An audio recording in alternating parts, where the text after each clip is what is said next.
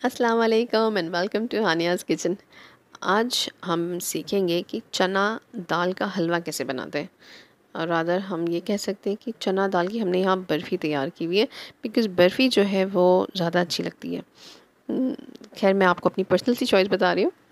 And आज मैं आपको बताती हूँ बहुत आसान नहीं है थोड़ी सी मेहनत ज़रूर है इसे बनाने में पर वर्थ एवरी हार्ड वर्क बहुत ज़्यादा अच्छा लगता है ये खाने में आप बना के स्टोर कर लीजिए। तो चलिए हम शुरू करने से पहले आप एक काम कर लीजिए, मेरे चैनल को सब्सक्राइब कर लीजिए एंड बेल आइकन को भी प्रेस कर लीजिए। तो चलिए यहाँ देखिए मैंने वन फोर्थ कप जो है घी ले लिया एंड देखिए हलवा वगैरह जब हम बनाएँ, हलवा है, बर्फ़ी है, हमारे इंडियन डिज़र्ट्स जब हम बनाते हैं तो प्लीज़ आप घी इस्तेमाल कीजिए बिकॉज़ घी से ही तो मिठाइयाँ बनती है। घी ना हो तो फिर मिठाइयाँ थोड़ी लगती हैं। तो चलिए घी में हमने डाल दिया था इलायची एंड इलायची डालने के बाद में हम यहाँ दो लीटर दूध ऐड करेंगे। अच्छा दूध जो मैंने लिया है फुल क्रीम मिल्क है बिल्कुल आ, कोई मिलावट नहीं है इसमें। आप अच्छा सा फुल क्रीम वाला मिल्क ले लीजिए जो भी बेस्ट आपको मिले। लेकिन ये है कि टोंट मिल्क मत लीजिए। थोड़ा सा अच्छा आ, आ, क्रीम वाला मिल्क रहेगा या फैट मिल्क रहेगा तो ज़्यादा बेटर है। अब नेक्स्ट हम क्या करें? हम इसके अंदर शक्कर ऐड करें। यानी मैंने यहाँ पे ढाई कप मैंने शक्कर ले लिया है। एंड शक्कर हम डालने के बाद में इसमें थोड़ा सा ज़ाफ़रान डाल देंगे और हमें इसकी जो है चाशनी तैयार करनी है। ना चाशनी जो हमें तैयार करनी है, वो देखिए, एक तार वाली चाशनी हमें इसमें नहीं प्रिपेयर करनी है। बस हमें इसकी एक अच्छी सी चाशनी तैयार करनी है। हमें मिल्क को जो है, जो हमने दूध डाला हुआ है हमारे पास, उसको हमें रिड्यूस करना है। तो इसमें थोड़ा सा वक्त लगेगा कि आप दूध को जो है, धीमी आँच पे रख दीजिए। बहुत धीमी नहीं, मीडियम फ्लेम पर रखिए ताकि वो पकता रहे और रिड्यूस हो जाए। देखिए ये दूध अब आप देख सकते हैं कि बिल्कुल हाफ़ क्वांटिटी हो गई है दूध की और उसका कलर आप देखिए कैसा अच्छा बादामी सा कलर हो गया है। ये हमें ये अटेन करना बहुत ज़रूरी है। एंड uh, मैं आपको दिखा दूँ कि ये चाशनी जो हमारी तैयार हुई है ये एक तार वाली चाशनी नहीं है। मैं आपको दिखा देती हूँ एक सेकेंड। ये देखिए। इसमें तार फॉर्म नहीं होता। इसमें एक आ, आ, हम कह सकते हैं कि स्टिकीनेस है वो चिपक चिपक वाला वो जो फीलिंग है वो आ रही है पर वो एक तार नहीं है इसके अंदर। अच्छा जिस कप से मैंने शक्कर लिया है उसी कप से मैंने तीन कप चना दाल लेकर सोख कर लिया था। एंड ये देखिए अच्छा सोख हो गया। करीब चार घंटे मैंने इसे सोख कर लिया है। देखिए कितनी आसानी से टूट रही है वो। अच्छा नेक्स्ट स्टेप हम क्या करेंगे? हम चना दाल को उबालेंगे। यहाँ एक कढ़ाई के अंदर मैंने थ्री फोर्थ कप पानी डाल दिया है और जो हमने चना सो करके रखा हुआ था, चना दाल, वो हम इसके अंदर डाल देंगे। अच्छा सिर्फ़ हम पानी में नहीं उबाल रहे हैं इसको, अब हम थोड़ा सा दूध भी डाल लेते हैं। मतलब बहुत थोड़ा सा दूध लगेगा, करीब आधा कप दूध, आधा कप दूध डाल लीजिए और अब आप जो चना दाल है, उसे उबाल लीजिए अच्छे से। अच्छा ये नहीं कि वो बिल्कुल पेस्ट बनना ज़रूरी है, नहीं पेस्ट नहीं होना है हमारी दाल को। हमारी दाल को बस गल जाना चाहिए अच्छा सा। मतलब वो गल जाए, जितना इसमें लिक्विड है वो ख़त्म हो जाए, क्योंकि हमें लेटर ऑन इसे ग्राइंड करना है। ये देखिए लिक्विड जो हमने डाला, यानी दूध और पानी जो हमने डाला था, वो पूरा सूख गया लेकिन हमारी दाल बिल्कुल फुट, फुटी हुई नहीं है हमारी दाल, अच्छी है, वो खड़ी है दाल अभी भी।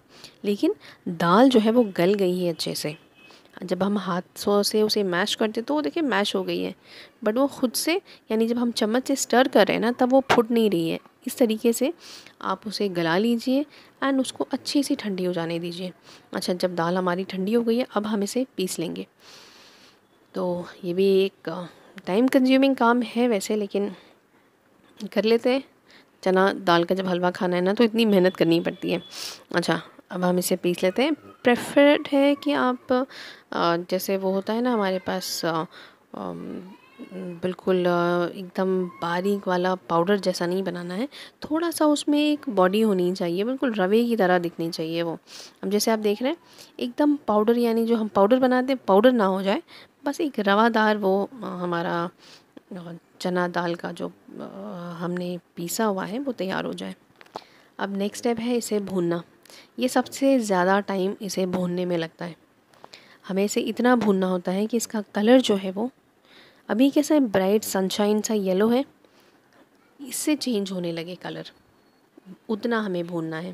देखिए, आधा जब मैंने भून लिया है, अब मैं इसके अंदर घी ऐड कर देती हूँ। करीब चार से पाँच बड़ा चम्मच मैंने घी डाल दिया है।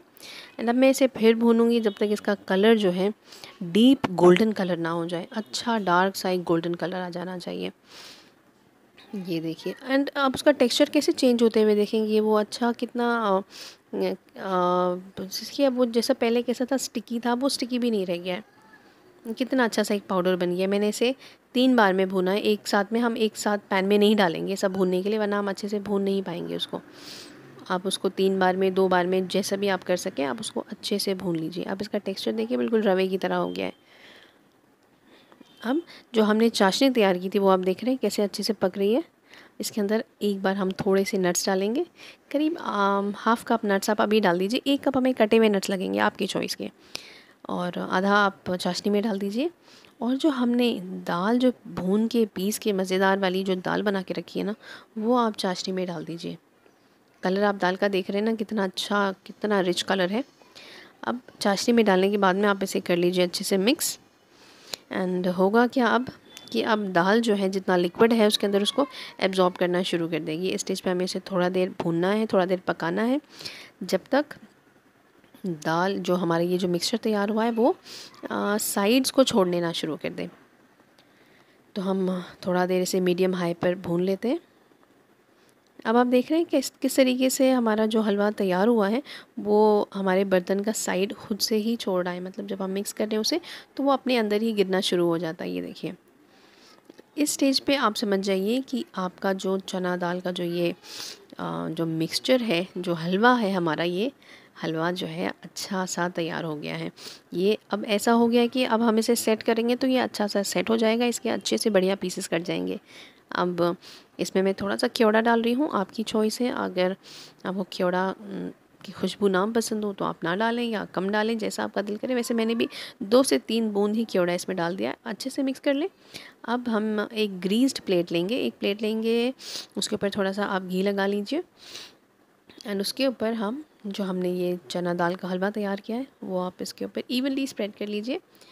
एंड इवनली स्प्रेड कीजिए। कोई ऐसा ना हो कि जब आप इसके टुकड़े काटें, इसकी बर्फ़ियाँ जब आप काटें तो कोई बर्फ़ी मोटी निकल जाए, कोई पतली तो आप अच्छे से सुकून से जो है, आप चम्मच ले लें स्पैचुला ले लें, जो भी अवेलेबल हो, आप उससे जो है, अच्छे से इसे स्प्रेड कर लीजिए। और जो हमने आधा कप जो हमने बादाम पिस्ता जो काट के जो रखा हुआ था ना, जो बचा लिया था, वो आप इसके ऊपर स्प्रिंकल कर लें और उसके बाद उसको फिर दबा दबा कर अच्छे से सेट कर लें और इसे अच्छा सा ठंडा हो जाने दीजिए। प्लीज़, काटने से पहले बहुत ज़रूरी है कि ये रूम टेम्परेचर पर आ जाए। ये बर्फ़ी जो है गर्म गर्म नहीं अच्छी लगती है। तो जब ये अच्छी सी ठंडी हो जाए, तब इसे आप काट लिए अच्छे से। जो भी आपका पसंद का शेप हो, आप इसे चाहे डायमंड शेप में काट लें, चाहे छोटे छोटे स्क्वायर्स में काट लें, जैसा भी आपको पसंद हो, आप काट लीजिए एंड इन्जॉय कीजिए इसे। बहुत ही बहुत ही बेहतरीन रेसिपी है, बहुत अच्छी रेसिपी है।